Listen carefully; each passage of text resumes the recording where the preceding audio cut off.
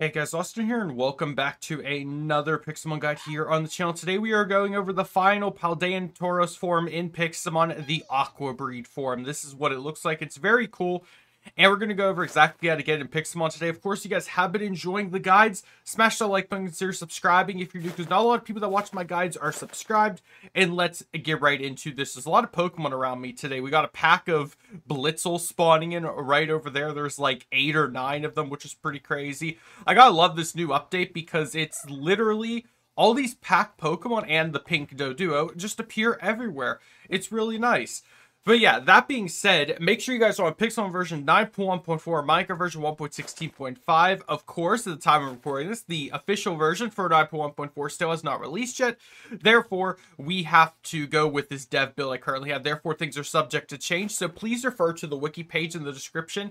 Later in the future, if you guys want to double check, fact check to make sure everything I'm saying is correct, but I'm pretty sure it's going to stay as is. That being said, this aqua breed of Paldean Tauros will spawn in the Shattered Savannah Uh, shattered Savannah Plateau, Savannah Plateau, and Savannah at an ultra rare chance on land during the dawn slash morning time, and it will have a 45% catch rate.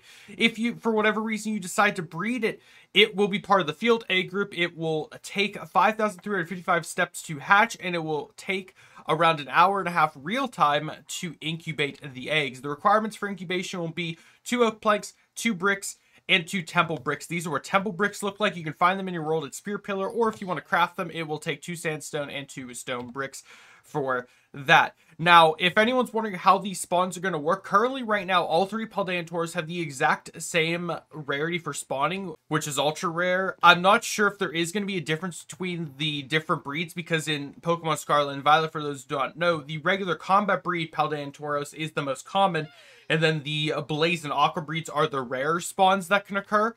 And normally they spawn in packs. Now, as you guys know, Pixelmon in this version has the ability for mobs to spawn in groups, the same Pokemon. So I have no doubt in my mind that when Paldeas Tauros spawns, it will be in a group, and then maybe one in that group will be one of the two. Again, like I said, I do have the development build right now, so there's no way of knowing 100% guaranteed yet this stuff is all set in stone, but most of it should be at this point. That being said, that's going to conclude this guide. So again, this is pretty much how things should spawn. If for whatever reason things change drastically, I will make an update guide on these Pokemon, but I don't think it's going to be needed as much. Both these Pokemon are pretty common and easy to find, even even though it says very rare, I'm sure we'll be able to find these things, uh, no doubt, in the world.